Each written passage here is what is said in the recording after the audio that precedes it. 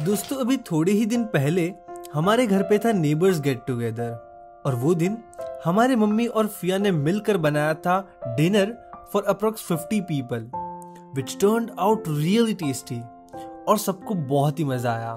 तो सोचा क्यों ना आपके साथ ये रेसिपी शेयर की जाए। और दोस्तों, हमें कमेंट करके ज़रूर बताना कि आपको ये रेसिपी कैसी लगी।